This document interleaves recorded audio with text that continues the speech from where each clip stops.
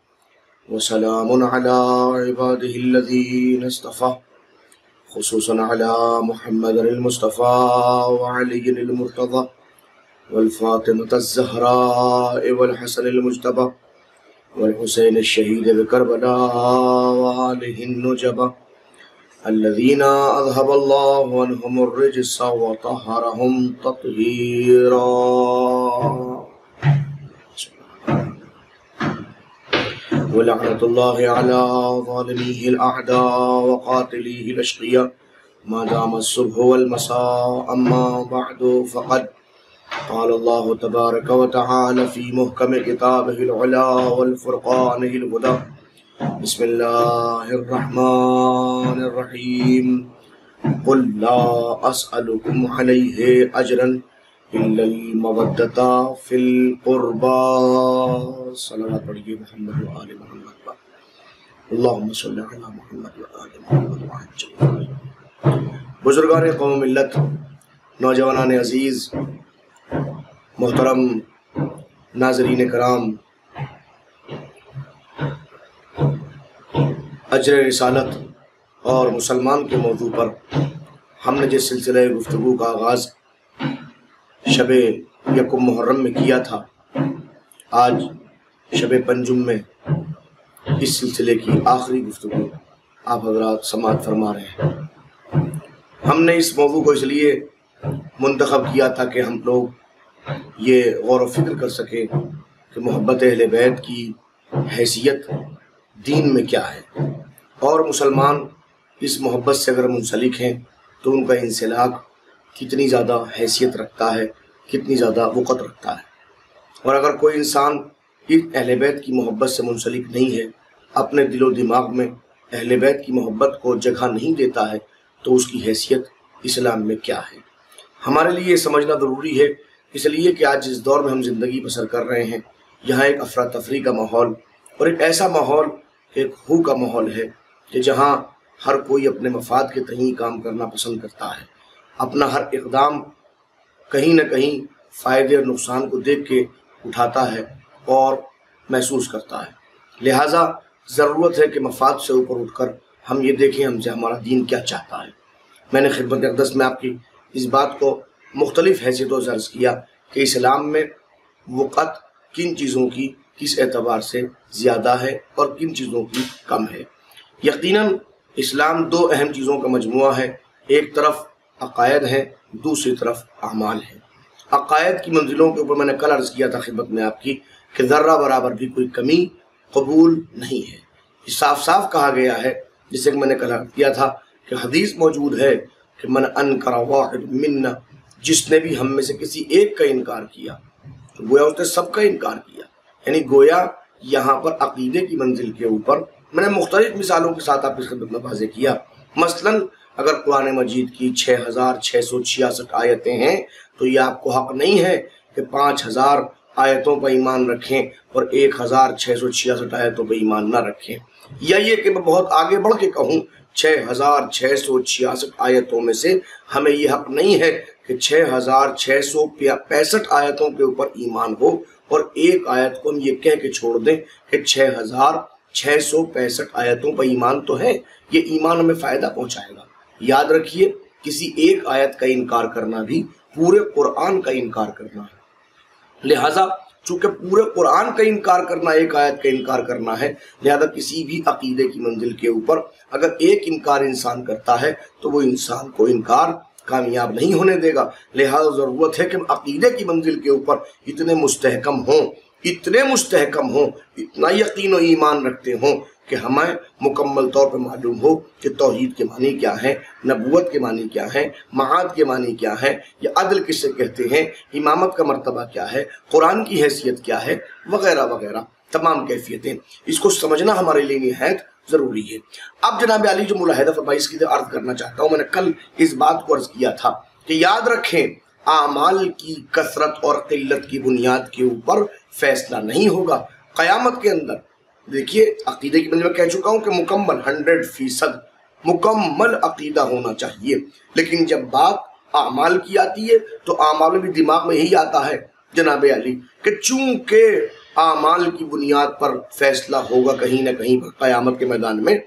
क़यामत के मैदान में, वरना अगर आप दुनिया में देखेंगे, यहाँ से जाने के बाद जो पहली मंजिल कब्र की आती है, कब्र में आमाल से मुतल सवाल नहीं होगा, कितनी नमाजें पढ़ी कब्र में नहीं पूछा जाएगा। कितने रोज़े रखे, कब्र में दरियाफ्त नहीं होगा। कितने सजदे करके आए हैं, कब्र में नहीं पूछा जाएगा। आपने वालदेन के साथ में क्या किया है? भाइयों के हकूक कितने अदा किए हैं? हमसाए के हकूक कितने अदा किए हैं? उस्ताद के हकूक कितने अदा किए हैं? मस्जिद के हकूक कितने अदा किए हैं? इमाम बारगाह के हकूक कितने अदा किए हैं? इन तमाम चीज़ों का सवाल कब्र में नहीं होगा। ये सब के सब हमारे अमाल से मुतल है। लेकिन जब सवाल होगा तो फ़कत और फ़कत अकीदे से मुतल मन रबुक माँ, मन नबीयुक, मन रसूलुक, मन इमामुक, माँ किताबुक वगैरह वगैरह तमाम सवाल हैं जो रिवायतों के ज़रिए से और कराम और बफैज़ मजलिस सैदुलशहदा सलाम की बुनियाद पर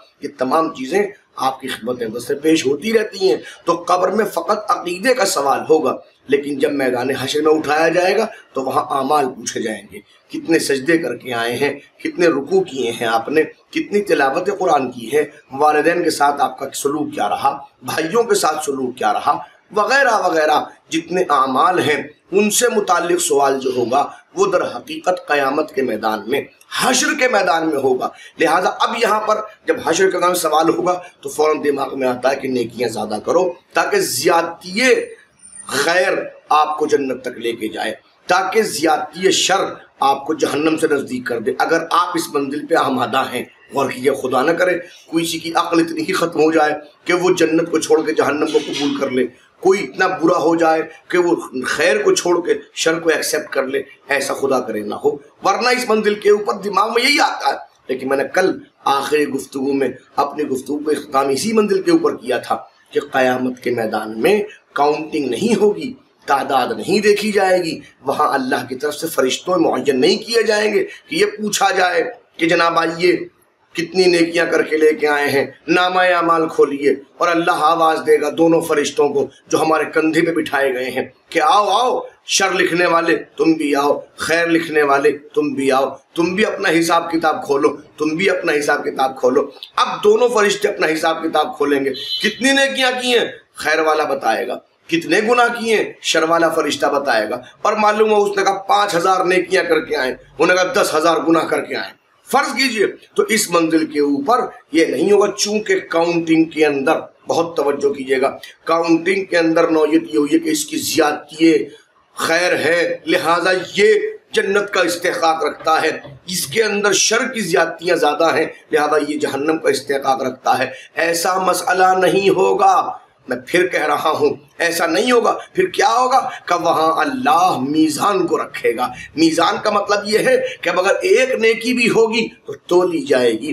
अगर एक बुराई भी होगी तो वो भी तोली जाएगी। लिहाजा अब हमें देखना है कि हम कौन सी कैफियत की अच्छाई कर रहे हैं, किस कैफियत की बुराई कर रहे हैं। कहीं ऐसा तो नहीं है कि हमारा कोई एक अमल भी बुरा हो और इतना ज़्यादा वजनी बुरा हो।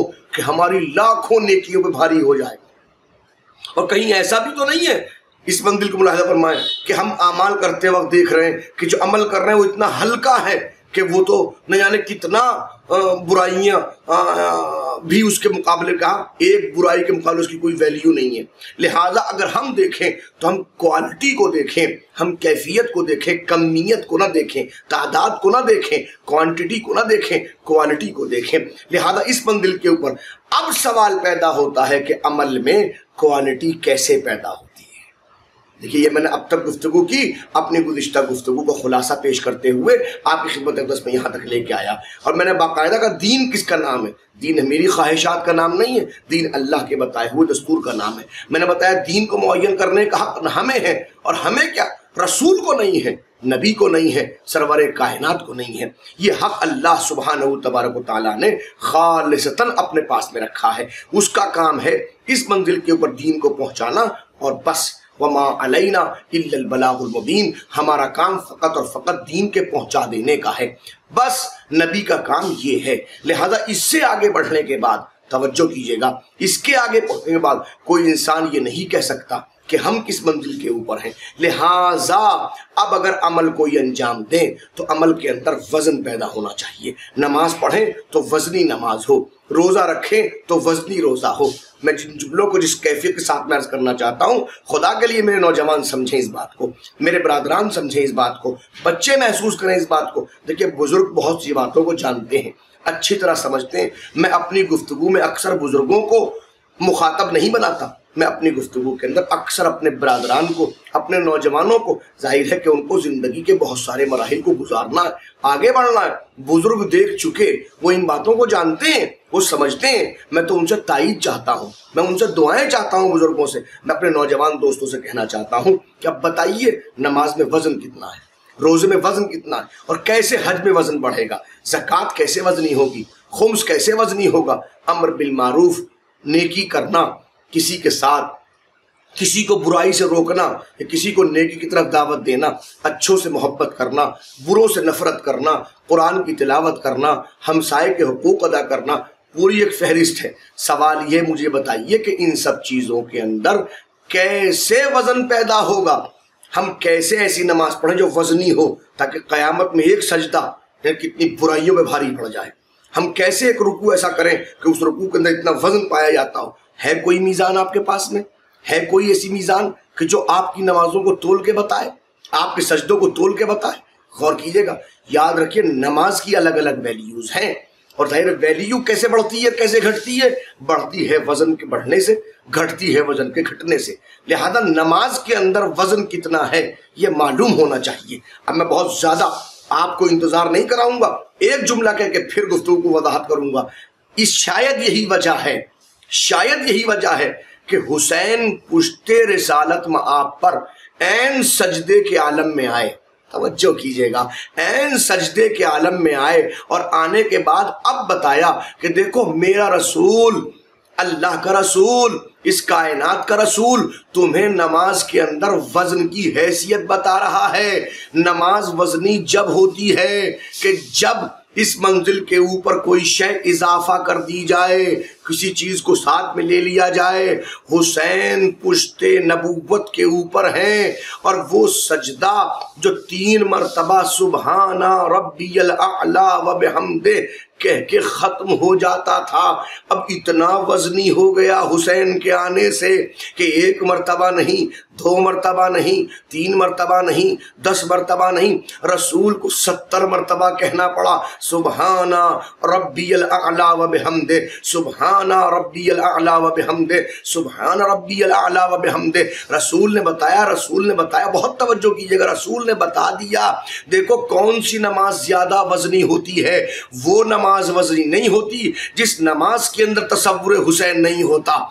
वो नमाज़ बहुत वजनी होती है, जहाँ सर उसके सामने झुके, दिल में मोहब्बत हुसैन मौजूद हो, ताकि उसका हक भी अदा होता रहे अजर सालत भी अदा होता रहे। सलावात पढ़िए मोहम्मद व आल मोहम्मद गौर फरमाया आपने, लिहाजा नमाज़ कैसे वजनी होती है? शायद रसलात में आपने पुश्ते नबूवत के ऊपर हुसैन को ला के यही समझाया है कि देखो कौन सी नमाज़ ज़्यादा वजनी है? कौन सी नमाज़ वज़न ज़्यादा रखती है कि सजदे में ज़्यादा वज़न है? गौर कीजिएगा, तब नमाज़ में कितना वज़न है? क्या किसी के पास कोई तराजू है जो तोल के बता सके? किस सजदे में कितना वज़न है? मालूम है आपको?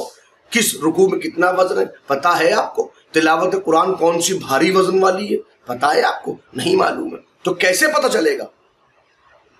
अब जरा मैं इस मंदिर के ऊपर दो लम्हे के लिए अर्ज़ करना चाहता हूँ और यही समझ में आएगा, एक जुमले से बात को वाजे कर दूँगा। बस एक जुमले से, मगर थोड़ी सी तमहीद ज़रूरी है, ताकि आप हजरात महसूस कर सकें। मैं इस मंजिल पे एक मरता फिर जनाब मोहतरम आज़ाद सैदी को इस मंजिल के ऊपर मुबारकबाद देना चाहता हूँ कि माशा आपकी काविशें दीन को पहुँचाने के लिए काफ़ी हद तक साबित हो रही हैं।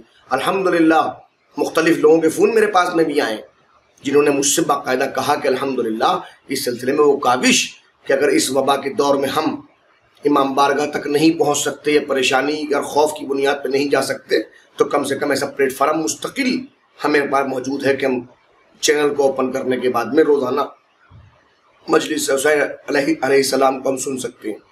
लिहाजा आइए मुलाहदा फरमाइएगा। अजर सालत और मुसलमानियत, ये मौजूद दिमाग में रहे ताकि मैं अपनी गुफ्तु की तकमील आज इस मौजू पर कर लूँ। और कोई तशरगी बाकी ना रह जाए और कीजिएगा। सवाल यह है कि मालूम कैसे हो? तो अब पहला सवाल, चीज़ में वज़न होता कैसे है? वज़न किसे कहते हैं? बहुत तवज्जो कीजिएगा एक छोटा सा लोहे का टुकड़ा, जिसका वज़न फ़र्ज़ कीजिए फ़र्ज़ कीजिए इस बंदल के ऊपर सिर्फ़ सौ ग्राम है। इतना छोटा सा है, सौ ग्राम का वज़न है। उसको अपने हाथ में दस फुट के या पाँच फुट के या चार फुट के ऊपर रख के छोड़िए। तो कितनी तेज़ी से आपके हाथ से छूट के ज़मीन पे गिरेगा। इसके मुकाबले में आप रुई का इतना बड़ा मैं बड़ा दिखा रहा हूँ वज़न नहीं बता रहा हूँ तो इतना बड़ा रुई का एक गाला हो और उस गाले को छोड़िए आप उसको हाथ से।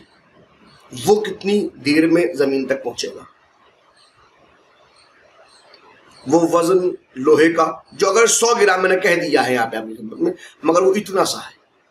रुई इतनी बड़ी है।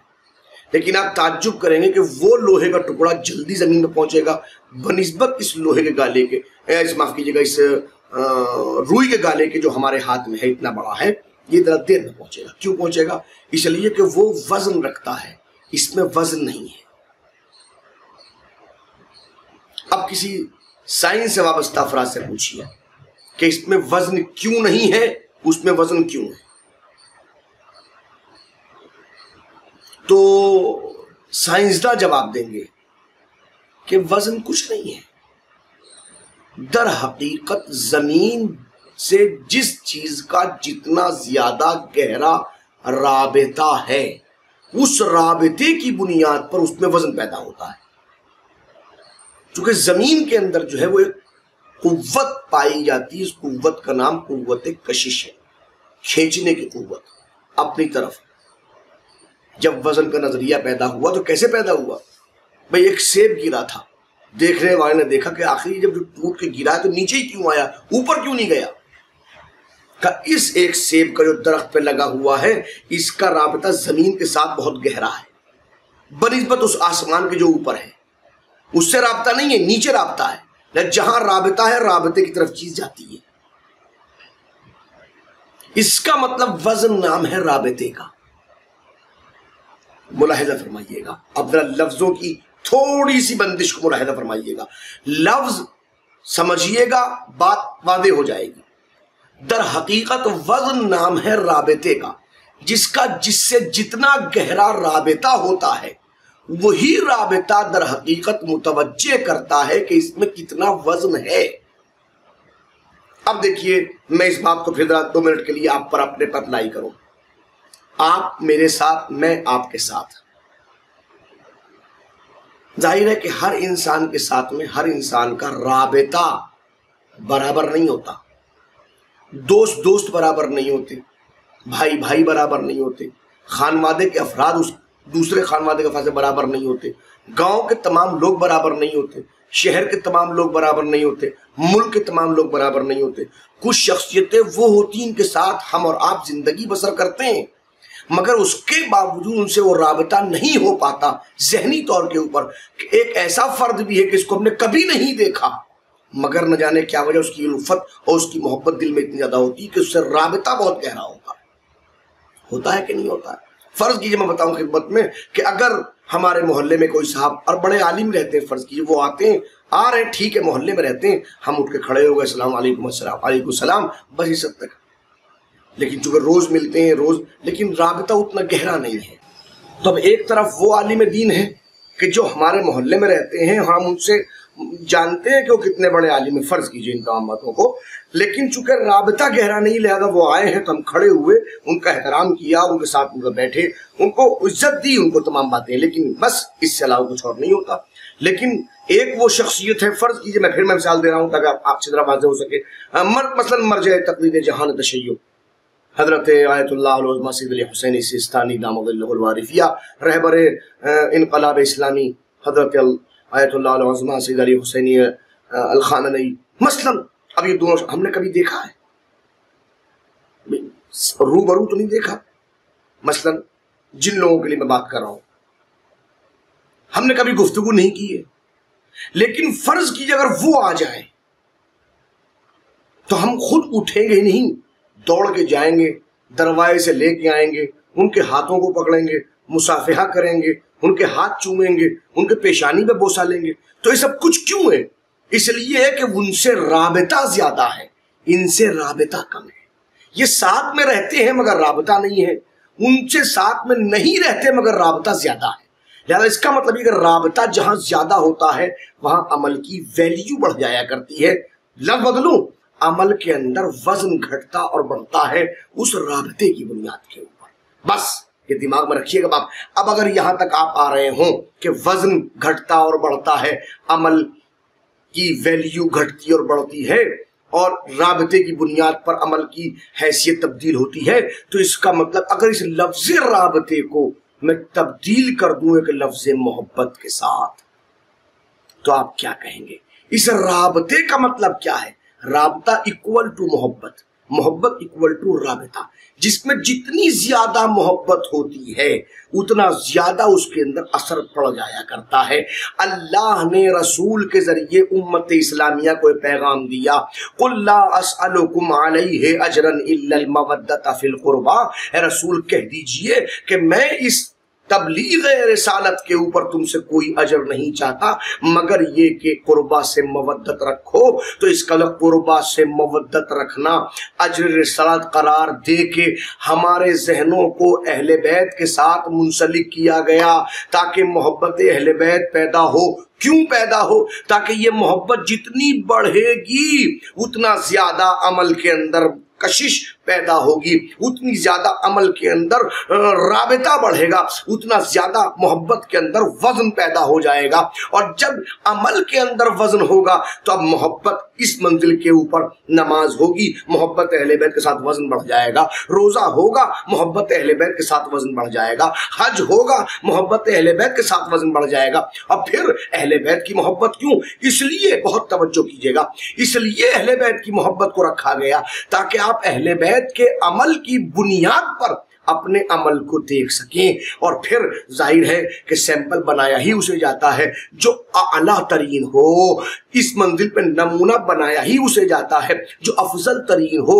अमल की दुनिया में अहले बैत से बढ़ के अमल किसी का नहीं है। अरे जिसकी एक तलवार की जरबत सकलैन की इबादत में भारी पड़ जाए, उससे बड़ा अमल किसका अमल होगा? और उसी की मोहब्बत हमारे अमल के अंदर इतना वज़न पैदा कर देगी कि कहने को एक सजदा होगा, मगर नहीं कितने सजदों से बेहतर हो जाएगा। और फरमाया आपने। लिहाजा अजर सलत इसलिए करार दिया गया अहले बैत की मोहब्बत को, ताकि हम मुसलमान समझ सकें कि ये हमारी ज़िंदगी में क्या फ़ायदा दे रहा है। याद रखें, इस अजर साद का फ़ायदा अहले बैत को नहीं है। इसका ताल्लुक हम मुसलमानों से है। इसका ताल्लुक हमसे है। हमें फ़ायदा है। अहले बैत को कोई फ़ायदा नहीं है। फ़ायदा हमें है। उनकी मोहब्बत से हमें हम उनसे मोहब्बत करेंगे उनको फ़ायदा नहीं पहुंचेगा। हमें फ़ायदा होगा। अब कैसे फ़ायदा होगा? अगर हम मुलाहिदा फरमाएँगे, और मैं मैं कैफियतों को समेटने की कोशिश करूँ बहुत तफसीली गुफ्तु करना मकसूद नहीं है, कि आखिर हमें फ़ायदा कैसे होगा? और इस मोहब्बत से। ये मोहब्बत हमें कहाँ लेके जाएगी? वज़न वज़न हमारा कहाँ तक बढ़ जाएगा? और हमारे अमाल हमें कितना वजनी करार दे देंगे ताकि इसकी बुनियाद पर हम मुस्तहक जन्नत हो सके या मुस्तहक कुर्ब इलाही हो सके। मसलन आप जिस जैसी जिसकी हैसियत यही होती है फ़िक्र हर कस बकदर हिम्मत उस्त जैसे आ, उसकी हिम्मत होती है उसी एतबार से उसकी अफकार भी हुआ करती है। कोई जन्नत के लिए काम करता कोई अल्लाह की कुर्बत के लिए काम करता। ज़ाहिर है कि अगर हम नमाज़ पढ़ते हैं तो इसलिए नहीं पढ़ते कि दो रकत नमाज़ पढ़ता हूँ फजर की ताकि दुखुल जन्नत हो सके। नहीं नहीं नहीं, ये नहीं है। बाइस क्यों होता? कुर्बतन इल्लाह ताकि वहदहुला शरीक परवरदिगार से करीब तर हो सके। कुर्बत इलाही, जन्नत बड़ी नहीं है, कुर्बत इलाही बड़ा। इस कुर्बत इलाही को समझें आप, ये कुर्बत अगर मैसर हो गई, सब कुछ मैसर हो जाएगा। इंसान कामयाब हो, कामरान हो जाएगा, बशर्ते के कुर्बत इलाही उसको मैसर हो जाए। अब आइए इस मंजिल के ऊपर, बहुत तवज्जो कीजिएगा। आखिर वज़न कहाँ साबित होता, कहाँ साबित नहीं होता। मैंने कहा, अगर मोहब्बत अहले बैठ तो अमाल वजनी होते हैं। और जब अमाल वजनी होती तो एक सजदे की वैल्यू होती है। एक तिलावत कुरान की वैल्यू होती है, एक रोज़े की वैल्यू होती है, एक हज की वैल्यू होती है सबकी वैल्यू बढ़ जाती है। कब? जब मोहब्बत अहले बैत होती है। अजर रसालत की अदायगी होती है। अब आप कहेंगे कि क्या ऐसे अफराद दिखा सकते हैं? कि जो नमाजें पढ़ते हैं अजर रसालत अदा नहीं करते और अमल की वैल्यू नहीं है। मैंने कहा अलहमदिल्ला बहुत सारे हैं। आप मेरी जबान पर एतबार न कीजिए, मैं आपकी खिदमत में अभी हदीस पढ़ूँगा अभी और मुतफ़ अल हदीस, उसको कहाँ लेके जाएँगे आप? बहुत तवज्जो कीजिएगा मैं गुफ्तु के आखिरी मरहले पर हूँ और मैं मुकम्मल तौर पर मौजू को वादे करना चाहता हूँ ताकि कोई तशरगी बाकी न रह जाए। और आप मोहतरम आज़ाद जदी साहब से कोई शिकायत ना कर सकें। आज़ाद जदी साहब सुन रहे हैं मेरी बात को, महसूस कर रहे हैं और फिर कम से कम इस बात को आप देखेंगे तो फ़िक्र सामने आ जाएगी। मैं जिस गुफ्तु को जहाँ तक लेकर आया हूँ, उसको मुलाहिदा फरमाइएगा।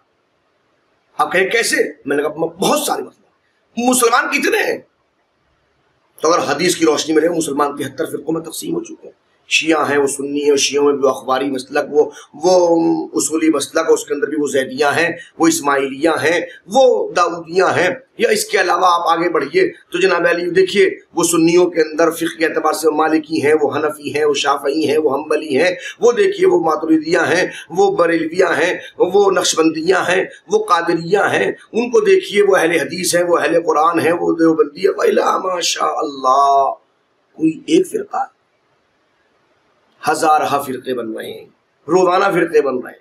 लेकिन बहरहाल मैं हज़ार की बात नहीं करूँगा, मैं कम से कम अगर इस मंजिल के ऊपर बतौर दलील कुछ पेश करना चाहूँगा तो कहूँगा कि कम से कम तिहत्तर फिरके तो हैं। अब जरा परसेंटेज निकाल लीजिएगा बनाए करम। अब मैं हदीस के जुमले पढ़ रहा हूँ और जुमलों को समझना आपकी ज़िम्मेदारी है।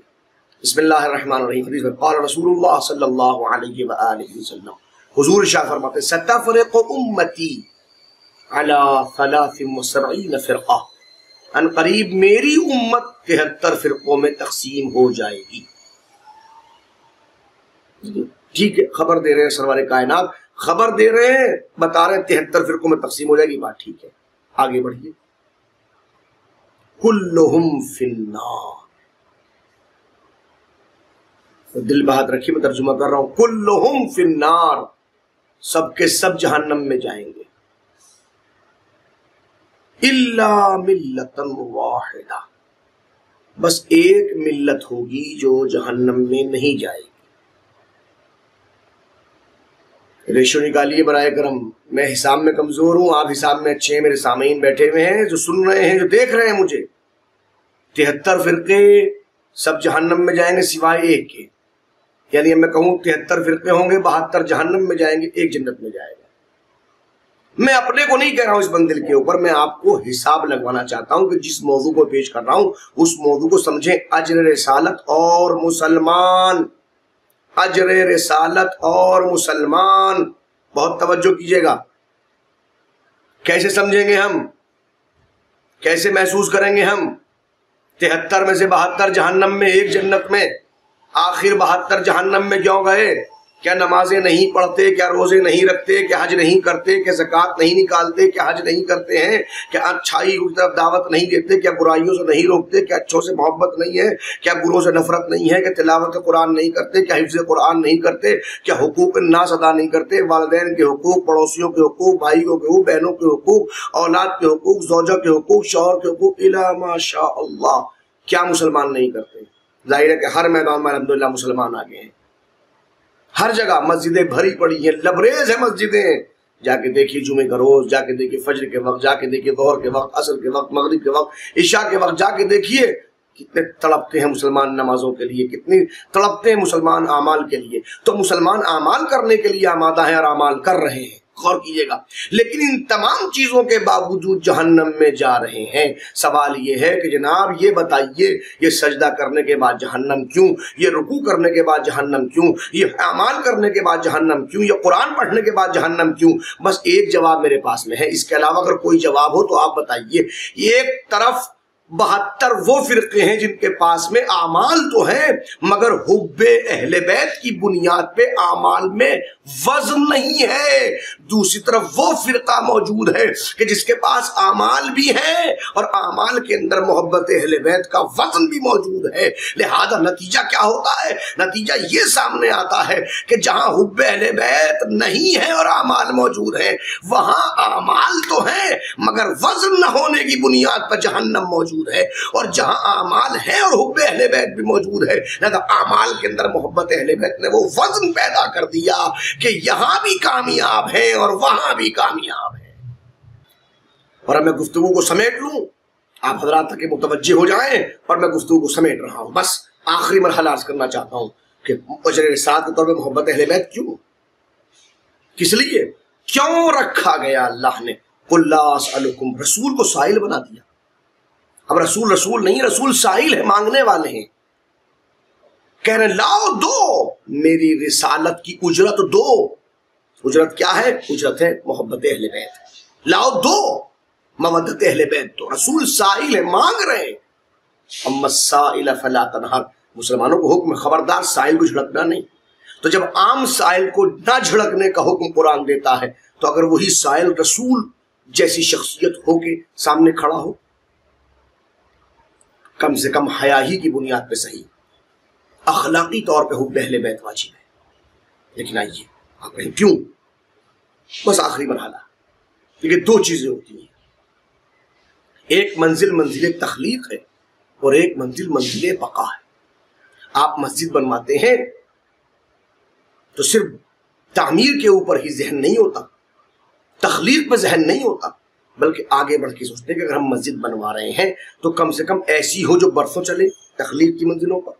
और फिर उसके बाद में बरसों तक चलने के लिए कुछ मेंटेनेंस के नाम पर।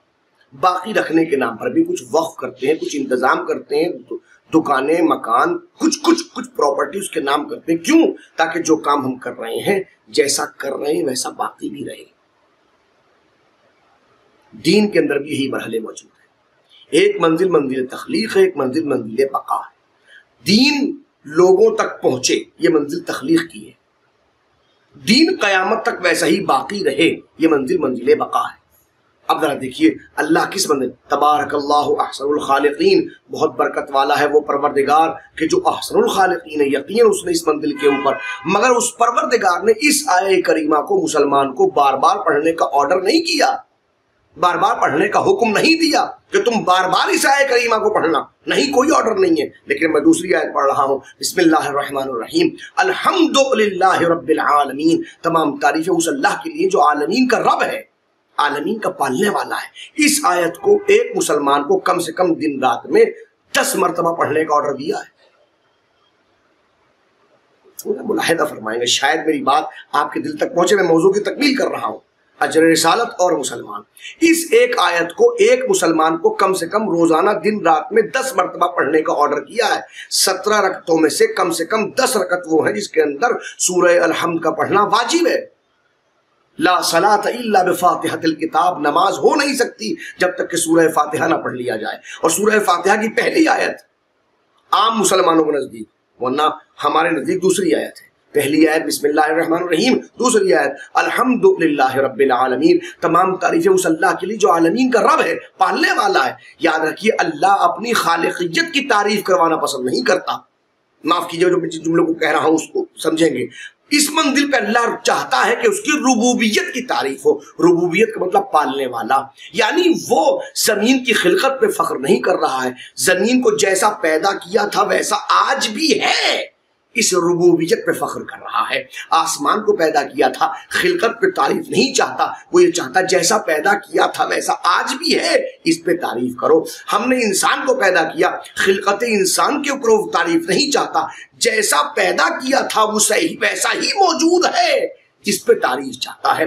गौर कीजिएगा, अब मैं तफसील अपनी जगह के ऊपर रखते हुए बस दो जुमलों में गुफ्तु को समेट दूँ। ताकि आप हदात वाजे हो सके और गुफ्तु मंजिल तकमील तक पहुँच सके। बस याद रखें, दीन यही मंजिलें चाहता है। एक तरफ़ मंजिल तखलीक है, दीन बंदों तक पहुँचे, ये काम रिसालत माप का है, ये मंजिल तखलीक है।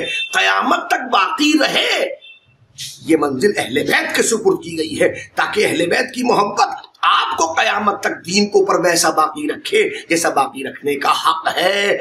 कलमा पढ़वाना ये नबी का काम है।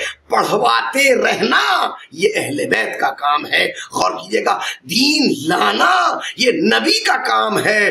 कयामत तक दीन ले जाना, ये अहले बैत का काम है। लिहाजा अहले बैत की मोहब्बत को अजर रसालत के तौर पे कि अगर कलम कलमा मोहम्मद रसूल जबान पे जारी किया है तो उस कलमे पे बाकी भी रहो। बाकी रखने का सबसे बड़ा ज़रिया अजर रसालत की अदाई बस मैंने गुफ्तु को मुकम्मल कर दिया।